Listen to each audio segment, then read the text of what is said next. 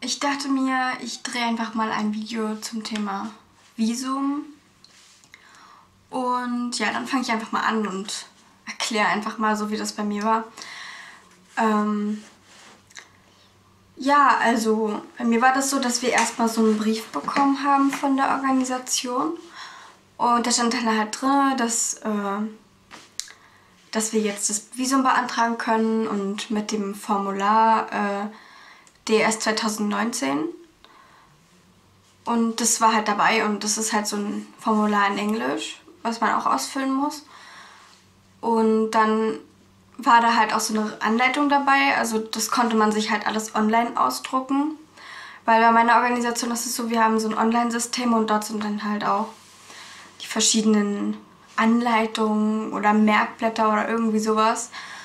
Und ja, dann habe ich mir halt so diese Anleitung ausgedruckt, habe mir das halt durchgelesen und habe dann einfach alles so Schritt für Schritt gemacht.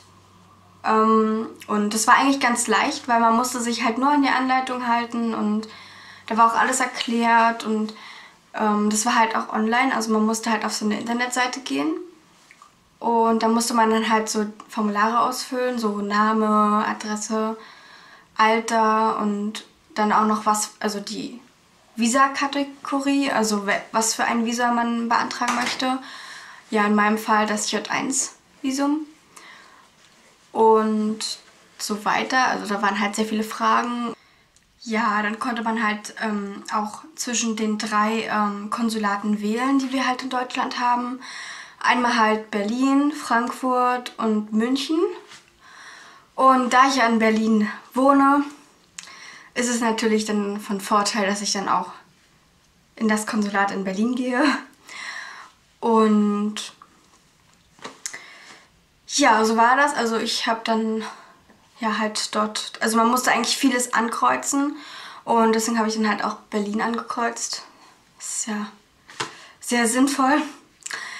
Ähm, und dann konnte man halt auch, also wenn man alles ausgefüllt hatte, dann ähm, man musste auch dann halt noch zwei äh, Gebühren bezahlen. Einmal die Sevis-Gebühr und einmal, oh Gott, irgendwie so eine andere Gebühr. ja, ich glaube irgendwie das eine war mal 180 Euro und das andere war 152 Euro. Ich weiß es jetzt nicht genau.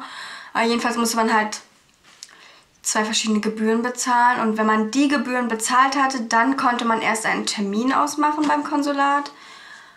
Und ja, dann haben wir halt den Termin ausgemacht. Ich hatte das dann so früh wie möglich gemacht.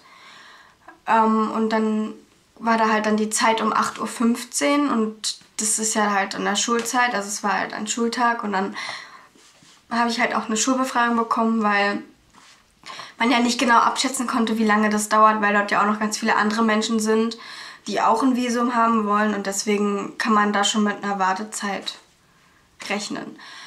Und dann habe ich halt auch eine Schulbefragung bekommen für den einen Tag und dann bin ich halt dorthin gefahren und ja. Aber dazu mache ich nochmal ein extra Video zum Thema Konsulat, also der Tag beim Konsulat. Ähm, weil ich denke, dass es besser ist, wenn ich das so separat teile.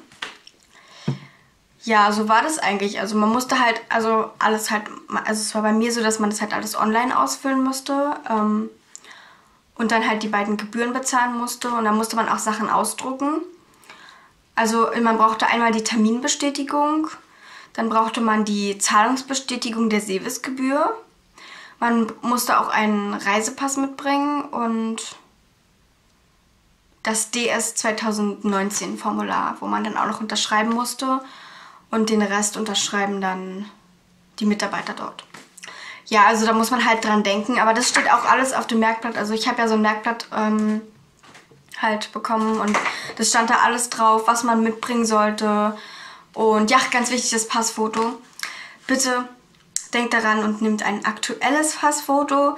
Bei mir war es auch so, mein Passfoto war zwar aktuell, aber die wollten dann irgendwie noch ein neues haben. Also ich hatte auch ein Problem, das irgendwie hochzuladen, weil das irgendwie nicht ging, weil irgendwie war die Qualität wohl nicht so gut. Aber ja, jedenfalls muss man da gucken mit dem Passfoto, weil das muss man halt auch hochladen im System und ähm, da muss man schon sehen, dass da halt die Qualität ganz gut ist. Aber bei mir war das eigentlich irgendwie gut, die Qualität, aber irgendwie auch nicht. Und dann hat es ein bisschen gedauert, bis ich das irgendwie da hochladen konnte. Aber ja, ja, dann kann ich ja noch mal kurz irgendwie darüber reden, wie ich mich jetzt gerade so fühle mit dem Visum und so. Also es ist schon irgendwie so ein komisches Gefühl, wenn man halt jetzt schon weiß, also man hat seine Gastfamilie und dann halt dann geht man halt und beantragt das Visum und das ist natürlich dann auch wieder so ein, wie ein nächster großer Schritt halt in Richtung Auslandsjahr und das ist auch irgendwie wieder so aufregend, also ja, das ist auch wieder wie halt so ein großer Schritt und das es kommt halt immer näher, also ich, ich kann das irgendwie immer noch nicht richtig realisieren. Ich, ich weiß nicht mal, ich weiß nicht, irgendwie ist es komisch, aber also langsam muss ich ehrlich sagen, langsam beginnt es bei mir, dass ich so ein bisschen Angst bekomme, halt so, so Lampenfieber halt, ähm, weil es halt immer näher rückt und das sind jetzt glaube ich nur noch,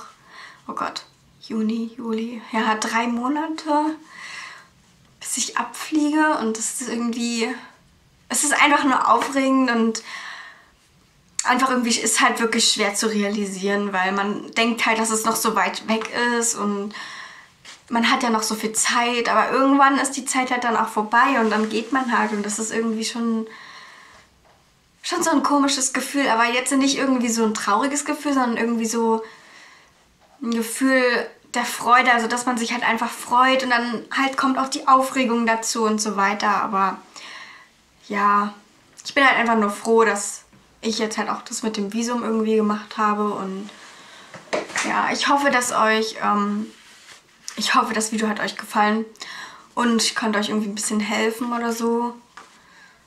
Ähm, ja, also falls ihr irgendwelche ähm, ja, Videovorschläge für mich habt oder irgendwas anderes, schreibt es einfach irgendwie in die Kon Kommentare und ja. Ja, ich hoffe, euch hat das Video gefallen und ja, dann bis zum nächsten Mal. Tschüss!